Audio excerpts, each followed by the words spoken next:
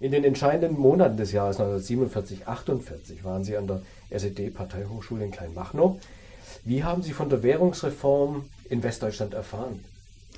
Durch die allgemeinen Medien, es wurde ja auch sogar damals durch den Ostdeutschen Rundfunk bekannt gegeben.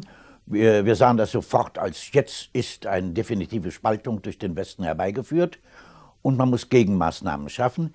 Es wurde ja dann wenige Stunden danach, kam ja der Befehl der sowjetischen Militäradministration, dieses Geld darf nicht in der Sowjetzone verbreitet werden und auch nicht in ganz Berlin.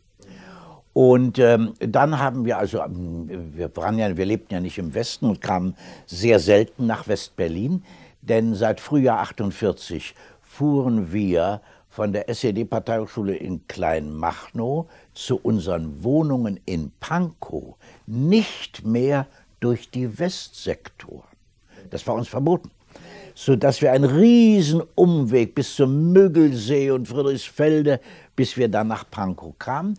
Ich habe es also den, den, diesen bedeutenden Tag in Westberlin gar nicht erlebt, äh, aber unmittelbar darauf äh, lief ja sofort die Gegenaktion an und die SED-Mitglieder wurden ja alle nachts in die Banken und Sparkassen beordert und dort lagen schon fertig gedruckte Coupons vor, die man auf die alten Reichsbanknoten mit äh, unter Tausenden von Menschen, Aktivisten, die da mitmachten, kleben musste.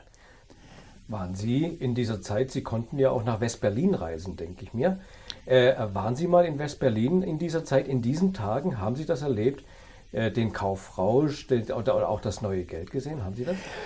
Ich konnte, da ich in der SED-Parteihochschule war, waren wir ja von Montag bis Samstags mittags immer fest dort.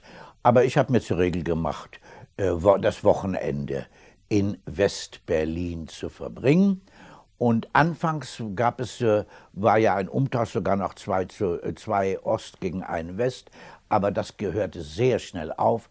Und ich war schon gewöhnt, ich nahm meine Ostmark, das heißt die, die beklebt worden war, fuhr zum Bahnhof Zoo und bekam dann 4 zu 1 umgetauscht. Vier Ostmark gegen eine Westmark. Ich hatte sie also in der Hand. Auch das B war mir nicht unbekannt, die waren ja mit einem B.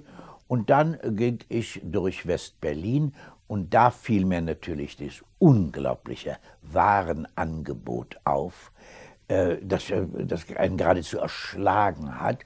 Aber mich interessierte das weniger. Ich ging in einen Café, trank Café, las die Zeitungen noch mal schön, die Westberliner Zeitung, Westdeutsche Zeitung und sah mir Filme an, die in der Sowjetzone und Ostberlin verboten waren.